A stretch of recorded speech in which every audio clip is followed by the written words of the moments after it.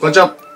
今日はですね、1月17日になります。日付変わって1時間ぐらい今経ってるんですけれども、シュプリームのセールが付け変わってすぐ12時に来てるんで、こちらちょっとね、見ていきたいなと思います。で、実際今この撮影してるのは1時間ぐらい経ってるんですけれども、12時の段階で欲しいものないかなと思って見てたんですけれども、今回ちょっとなかったんですよ。本当はね、購入実況の動画ね、撮ろうと思ったんですが、ちょっと買うものなかったんで、まあ僕の気になるセール品ちょっと数点ピックアップして紹介していきたいなと思います。で、割引率がね、4割じゃなくて3割だったんですよ。なんでちょっとね、パンチが弱めというかね、4割だったらといった感じになるんですが、まあ、その辺も含めてちょっとね、お話ししていきたいなと思います。それでは早速行ってみましょう。早速見ていきますか、上から。ウーブンフーデッドジャケットになります。こちら、えー、僕ちょうど日付変わってすぐ見てたんですけれども、これはかなりね、すぐなくなってたような印象です。まあ、茶色だけ、えー、全サイズあるよといった感じになります。まあ、ブラウンか、ブラウンだね。まあ、この辺の総柄とかはね、人気なんじゃないかなと思います。で、次にファーカラーカーコート。これがブラックが残ってますね。ブラックはね、サイズ全部あるような感じになるんですが、まあまあ、これもちょっとね、着る人選ぶのかなといった感じでしょうか。まあ、スケーターチックな、ストリートテイストなシュプリーム好きにはちょっとね、合わないのかなと思いますが。次、レイヤーデニムトラッカージャケット。えー、こちらブラックとデニムになるんですが、これもなんか合わせるのが難しそうですね。これもサイズは一応、黒もデニムも割と全部あるよといった感じになります。まあ、あとは価格の問題でしょうね、この辺に関しては。で、次が、ワールドフェイマスジャガロトラックジャケット。これが結構早かったような気がします。もう12時に画面切り替わったら結構すぐね、バタバタっとソールドアウトになってたような感じなんで、まあまあ人気だったのかなと思うんですが、このタイプのトラックジャケットじゃない方が僕は良かったですね。もうちょっとなんかこう、スケーターっぽい感じ。b ボーイっぽい感じで着れた方がかっこいいなと思ったんで、狙ってはいなかったんですけど、ま、1万8000ならかなりね、いいんじゃないかなと思いました。で、えー、スクリプトジャガーのデニムトラッカージャケット。こちら3万30円。で、こちらもサイズは結構余ってそうですね。あ、ブラックがソールドアウトになってるような感じです。まあまあ、これに関してもやっぱね、黒いいかなと思ったんですが、ちょっとでもデニムジャケットに3万って、えー、考えちゃうかなって感じがします。別にシュプリームじゃなくてもいいしってとこになってきちゃいそうなんで、まあまあこの柄でって考えたらない、なんかなかなかないんでいいのかなと思うんですけれども、まあまあこの辺はちょっと僕は買わないかなといった感じなんですが、まあ、でも合わせ方によってはかっこよさそうですよね。で、えーと、ウィンドストッパーのフリースジャケット、27,720円。こちらが、ベージュとブラウンのパターンだけが残ってます。そうだね。これはやっぱり買うとしたらブラックかなって感じですが、ちょっとね、デザインが厳しいかなといった感じになるんで、まあまあこの辺もスルーなんですけども、着るとしたらこのひっくり返してナイロンジャケットとして着るかなって感じがします。まあ表のフリースはちょっとこういった感じになるんで難しいのかなって気がするんですけれども、あと27,720円か。価格的にも厳しいかなといった感じになるんですが、まあまあでもデザインね、あのー、ブラックとかだったらシンプルに合わせれていいんじゃないでしょうか。ちょっと太めのね、薄いデニムとかに合わせたらスケーターっぽく簡単になると思うんで、まあシュプリムのジャケットが欲しいっていう場合だったらいいんじゃないかなと思います。で、次はモヘアのセーターですね。これちょっと僕迷いました。えー、18,480円で、他のブランドのモヘアのセーター買うのと同じぐらいだなと思ったんですけど、まあ、これが一色の XL のみになってますね。これ僕買おうかなと思ってた時、一応ほぼサイズ揃ってたんで、まあ、どれにしようかなって感じだったんですけれども、まあ、どの色でもいいかなって正直思いました。無難に行くんなら黒かなって感じするんですけど、このなんか、黄土色マスタードみたいなのも、なんかデニムとかの相性良さそうですし、このパープルになってるのかな？まあ、なんか紫だかグレーだかわかんないですけど、この色もまあまあ合わせやすいのかなと思ったんで、これがちょっと迷ったかなといった感じです。ただあまりにもね、プレーンすぎて、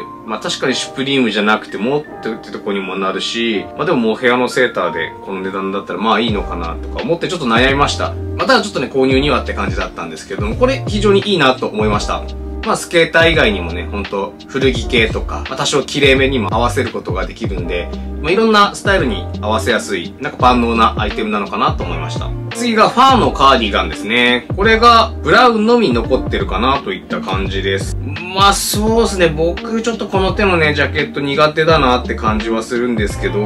まあでもファーのジャケットで2万6000とかだったら、ね、ジャケット欲しい人ならいいのかなと。なんかちょっと古着ミックスみたいな感じで着る方だったらすごい似合いそうなジャケットかなと思いました。逆にちょっとスケータースタイルとか、ちょっと B 系な感じで合わせるんだったら向いてないのかなと思いました。スポーティーなというかね、スケーターにはちょっと寄せづらいんで僕は苦手な商品になるんですが、ちょっと古着とか、ちょっと古着っぽいデニムとかに合わせたら可愛いのかなと思いました。で次、スプリットサッカージャージ。まあ、この辺のサッカーのジャージも可愛いっすよね。この赤黒とか僕可愛いなと思いました。あまり着ないし、サッカーもやらないんでね、買わないですけれども、まあ、これ1万2000円ならいいかなと思いました。なんか夏に着れそうですし、全然デニムとかに合わせてもね、かっこいいかなと思いました。これね、なんか、電話番号書いてるのちょっと嫌だったんで買わなかったですけど、なんか色味とかこの赤黒とか良かったっすね。でもサイズ結構ほぼほぼ残ってるんで、まあ、ジムとかにもね、着ていけるからいいのかなって感じはします。まあ、ただサッカーやってないんでね、まあ、イメージ湧かないっすね。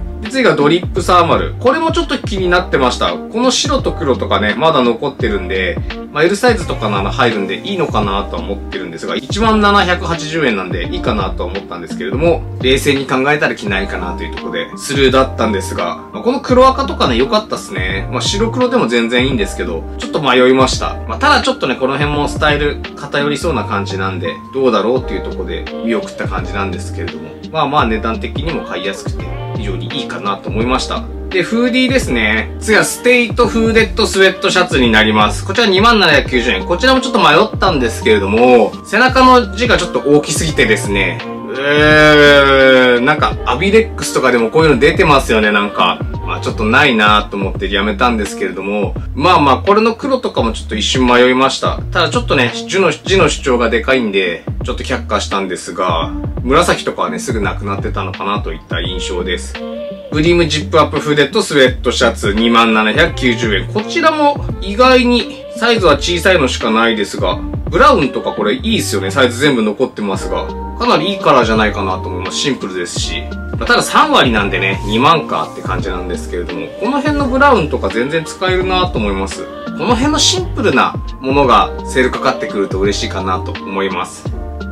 こちら、ホッケーフーデッドスウェットシャツ。これもちょっと気になってました。カラーがですね、ブラックか、このブラウン、ちょっと気になってました。最初この黄色とね、青ね、レギュラーアイテムで出た時いいかなと思ったんですけど、まあ、このブラウン可愛いね、よく見たら。まあ、ただ星の量が尋常じゃないんで、その辺でね、買うか買わないかってとこなんですけども、この辺もね、いいかなと。黒ならまだ残ってるんで、まあ M しかないですけど、まあまあ、サイズ合う方は非常にいいんじゃないかなと思います。ただ星の量が本当に尋常じゃないっていうね、ちょっときついなって思うけど、まあ、これ結構ね、なんか、ブラウンサイズあったらよかったかなと思います。